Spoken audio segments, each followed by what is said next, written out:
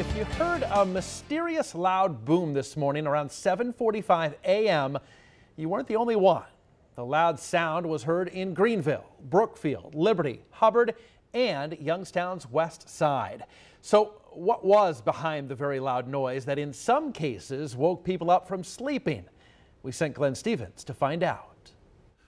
The ground shaking boom prompted several calls from the Girard Liberty area. Debbie Patterson says she was on the phone with her sister. All of a sudden, I heard pooh. Then I felt the house shake and rumbling.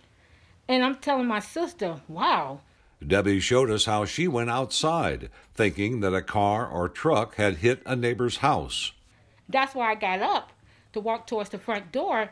And my sister Teresa, as like I said, as I'm walking towards the door, she's saying the same thing. She felt and heard the same thing. And she lives on the south side.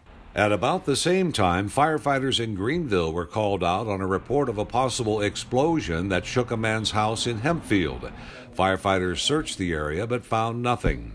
Trumbull Dispatch also received numerous calls, but no one could pinpoint a location.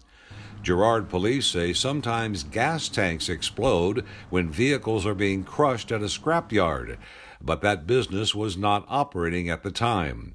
The Girard mayor says the city has turned up nothing to explain the boom.